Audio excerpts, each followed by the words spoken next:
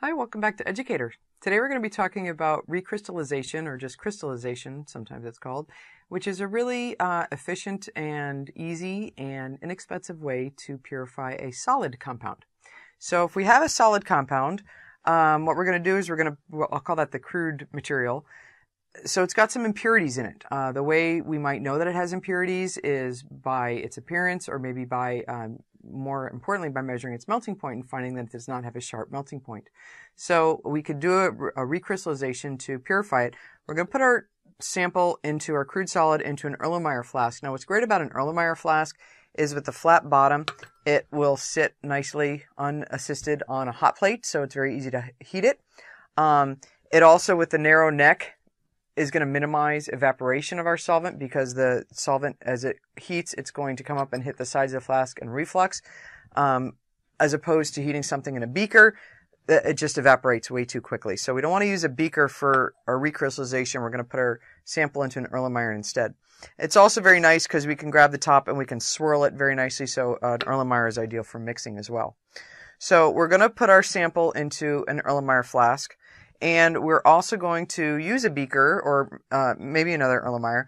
We're going to use something to heat up the solvent that we're going to use. Now, um, if you're not provided with a solvent uh, and you have to figure out what kind of solvent is ideal for a crystallization, then um, what we're looking for is something you could test it on a very small amount of your sample, something that is not soluble um, at low temperatures, but when you heat it up, it is soluble. So that's going to be our goal. So we're going to heat up uh, some amount of our solvent, and um, when that's nice and hot and boiling, we're going to add a very small amount of that, and we can use uh, maybe a paper towel to help handle um, a hot beaker.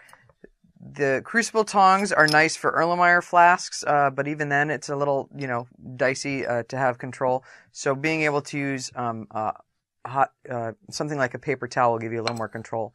So I can pick this up, and what I'm going to do is I'm going to pour just the smallest amount of solvent in here. Now, of course, remember I'm doing a totally dry lab here, so I'm not wearing the protective equipment. I'm not wearing my safety goggles, which of course I'd be wearing, and a lab jacket to protect myself and my clothing. Um, and you may or may not be wearing gloves, uh, depending on what reaction you're doing. But we're going to add a small amount here, and I'm going to place it right onto the hot plate to make sure my sample is, uh, my solvent is staying as hot as possible. Because the goal here is to dissolve our, sol- our solid in the minimum amount of hot solvent possible. We don't want to use too much solvent. So I can kind of swirl this around and look at it. Um, now, anytime we're boiling a liquid, we want to make sure that we have a boiling chip in here to promote even heating. What's handy for doing a crystallization is use a crystallizing stick. We could just kind of keep that in there. That provides a surface to facilitate the boiling.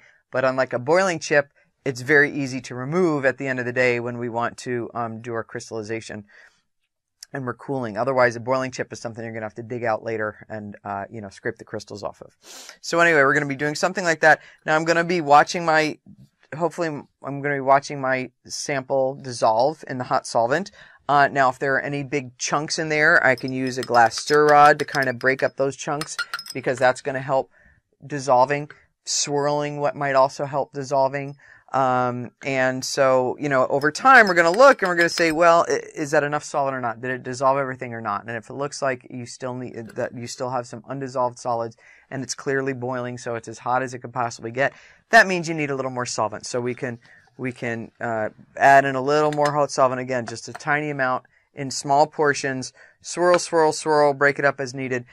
And eventually, um, our sample is going to be, uh, a, a solution where all the solid has dissolved. Now you may have something in there that's not soluble in the solvent, so it's an impurity that's not soluble, and that is um, that's something we would want to filter off. Uh, but the point is that's never going to dissolve. So you don't want to keep adding solvent, adding solvent, adding solvent, trying to dissolve something that's not your compound. So sometimes you have to kind of think about what's what's in there and make that judgment call. Now, sometimes you're going to find that your sample is supposed to be a, a colorless, um, a colorless compound, a colorless solid, a white solid. But there might be some color to your solution, some yellow or you know slight slight, slight color. Well, there's um, a way to get rid of that color. That that color then is an impurity, and there's a way to get rid of that uh, colored impurity by using something called activated charcoal. And so, um, what we do for that is we add in the smallest amount of activated charcoal and we swirl it around and that's going to just provide it's a very porous surface and all the colored compounds are going to um, get trapped inside that. And then what we want to do is we want to do a hot um, filtration. Now one thing is you want to make sure that you're never adding uh, that charcoal to your solution when it's hot because uh, that could cause your uh, you know if it's overheated it may cause it to foam up right away. So we're going to very carefully add that when it's uh, when it's cooled. So when if but but when we want to do if we do have to do an activated charcoal treatment, again we want to make sure our solution with the charcoal in there is very very hot, and we want to keep it hot as we filter off the charcoal, um, because we don't as soon as we start to cool our solution, our desired compound is going to be crystallizing out and be a solid. So we don't want our compound to crystallize out. Um, so we need to keep the solution as hot as possible. So um, one thing that we do is we use a um, special kind of funnel. This is a stemless funnel. So this is a typical funnel, and this one has no stem. And and that's because if you try to pour a hot solution through, through this stem, it would most definitely cool. And as it cooled, your crystals would come out of solution and it, this would just all jam up with solid. This would never filter through. So we're going to use this to keep it hot and to avoid if any crystals do crystallize out, they're not going to stop the, the, the, the filtration. So we're going to do a hot